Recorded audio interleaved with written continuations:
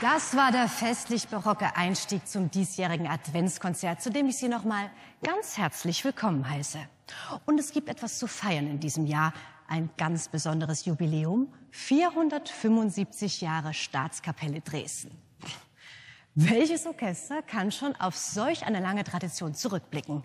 Von Heinrich Schütz über Richard Wagner bis hin zu Karl Böhm und Christian Thielemann, der heute das Adventskonzert leitet.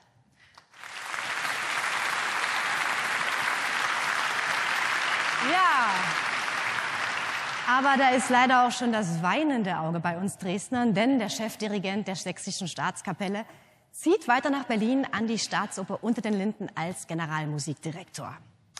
Im Rückblick schwärmt er, meine Dresdner Jahre waren traumhaft.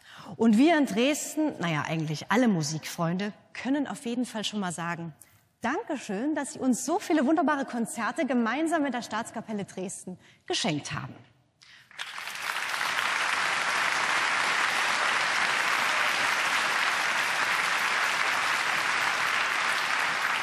Und umso mehr freuen wir uns jetzt auf dieses ganz besondere Adventskonzert, zu dem wir auch zwei großartige Solisten geladen haben. Zum einen Mauro Peter, den Tenor, und Hanna Elisabeth Müller, die jetzt das Ave Maria von Franz Schubert für uns singt.